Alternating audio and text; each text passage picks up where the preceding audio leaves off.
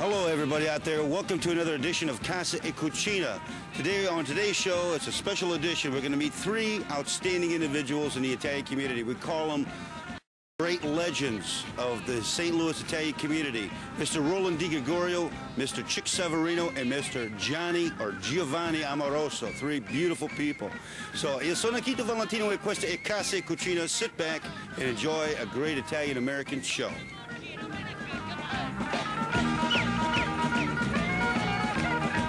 Ladies and gentlemen, my first legend of the St. Louis Italian community here is Mr. Roland Di Gregorio, very active in the community.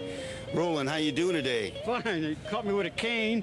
I've been sick for a while. I had some blood poisoning, but I'm okay now. Well, I got a joke for you, but I'll tell you later about, Okay. the, about the cane here. But anyway, uh, yeah, you're up and around. Uh, Really.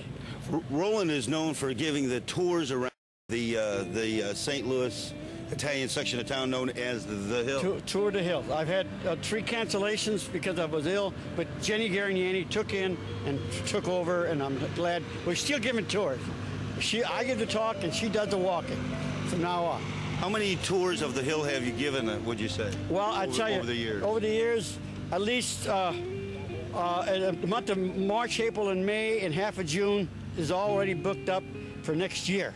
So give you an idea how much tours I have. I don't do tours Saturday, Sunday, so I do tours five days, six, uh, four days a week for uh, for.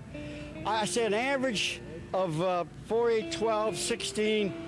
I do 400 tours so far in, in two years. Now the tours you start out in the church. Well, I'll tell you what, Roland. Before we get into the talking about the tours and everything, let's talk a little bit about your history. Growing up.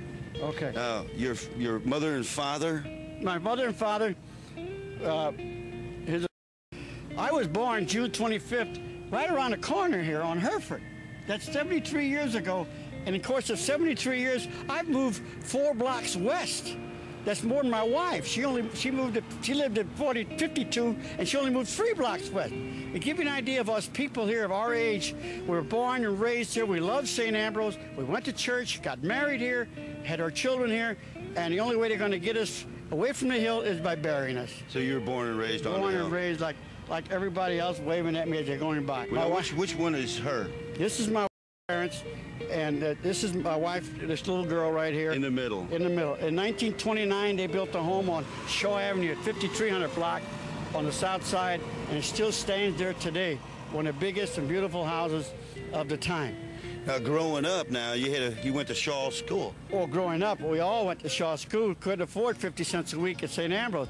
And Shaw School, during our heyday, I went out with these boys here in my class. Yeah, who are these boys here? Now, the one. Let's start with the ones kneeling. The one kneeling with a with a sailor hat and all that hair is Joe Garagiola. Joe Garage. With a sailor cap and all that hair, that's Joe. Look at that expression. Look at that, his mouth. And then John Colombo On the right, on the right, and Charlie Riva up there on top of River was a great guy. Standing on the right. And, and Aldo Rossi in the middle. He owned a re- restaurant out in Kirkwood. And that's me up there with my white pants on and our sailor pants. Yeah, what was with the white pants Well, that was the thing to do in those days. The Shaw School picnics, you all wear white pants and sailor hats and get on the open air buses and ride from School to Forest Park Highlands.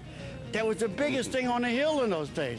We Hey, had you- parade and everything. Hey, you got a little older and you joined the service Well, I, I joined the Marine Corps. with your brother. My brother came about a year later, and my brother and I, he was in the second division, I was in the fourth division, and we got pictures. That's your brother Sam on the left. The guy with the mustache, the good, Good-looking one. the good looking one. He was so good looking, I swear. And this is us 50 years later. But Now, tell, tell us a little story about the my the brother. Sam, my brother and I on, on Saipan, uh, it, with the will of God, his outfit was online, and we went to relieve his outfit, and my company commander said we're going to relieve the second regiment, second battalion. I said, that's my brother's office. So he gave me an hour permission to go ahead, and I crept and crawled, ask here and there, and fall in the foxhole with my brother Sam. And he's got a 38. Hey, I said, it's me, it's me. An accordion wire out there with chaps hanging on it, and, and we spent one 45 minutes together in the foxhole. And when my company came up, he left me there. So that's how it's in the books. Of my history of the Fourth Division has it in the books that uh, we did that. Now, when you got got a little uh, when you get out of the service. When I got out of the service, I come you? home. I got home the day before VJ Day, and I'm so happy. And in fact, uh, we, uh, we, my son took me up uh, VJ Day at the Ruggieri restaurant, and at seven o'clock Monday night, seven o'clock, 50 years to the hour. He took my picture in front of Ruggieri's because that time Ruggieri opened up the doors and we had an open house of music and dancing and we had a ball in front of Ruggieri's. So about the two days or three days later when I recuperate, I'm out cutting the grass, and this beautiful young girl is out there visiting her uncle next door. She just happened to be visiting her uncle, and I knew who she was right away. I hadn't seen her in four years, and uh, she blossomed out to a nice 118 pounds. Well, you're a good-looking guy too. Oh, what I of suit is that? That is a zoot suit. We dance at Tune Town, and and and then and this is our engagement. I met her in September. and was engaged in December and married her in April. Pretty quick, in Oh, that days. was pretty quick, and now you have a big Well, then I family there. there I have seven kids, four boys on top and three girls on the bottom there. And I was a mailman here, and uh, used to go home for lunch. That's how I had seven kids. Joke. Yeah. anyway, I had seven beautiful kids, and they're all wonderful. And uh, like I said, two weeks ago when I was really ill, they were there. They are. If you say, what do I accomplish most in this world? Kids. God love them. Well, I always say there's three things that are important to the Italian American, and that's God, their family, and their country. And right here is is uh, one of our legends of the St. Louis community. We have somebody that's very involved in this church. I love my Very- church. Love the church. family man and very much involved with his community. And after all these years, he's given back to the community what the community gives to him, and that is by giving the tours. Now, uh, when the when the folks come down here for tour of the hill, this Italian section of St. Louis, you start off in the church and then you walk around the hill. We come into church at 10 o'clock in the morning, and I give a, a lecture for about 45 minutes uh, of the history of the hill. Then we get out about 11 o'clock and we walk. We walk into two bakeries, Vitale, Missouri Bakery. We walk into Volpi's grocery store, Di Gregorio, Viviano's. And then I also take them to the Bocciali's. We'll play a game of Bocci's at Milo's. And then about 12.30, they're hungry. The hill has 11 restaurants within three blocks square. So they can choose any place to go. This is, to me, it's God bless me because a couple of weeks ago, you know at how close I came with this blood poisoning. Yes. Okay? Well, wait a minute, Roland. Don't, don't leave yet. We're going to treat the folks out there to a little uh, Italian song with some footage, old footage of the hill. Wait a minute.